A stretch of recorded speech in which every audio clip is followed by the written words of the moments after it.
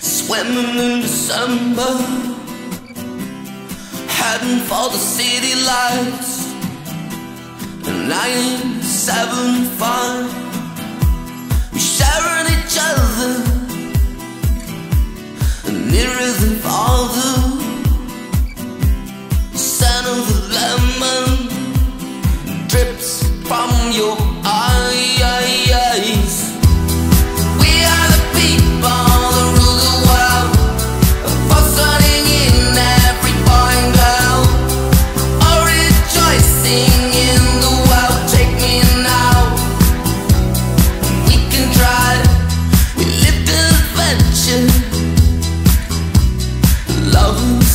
summer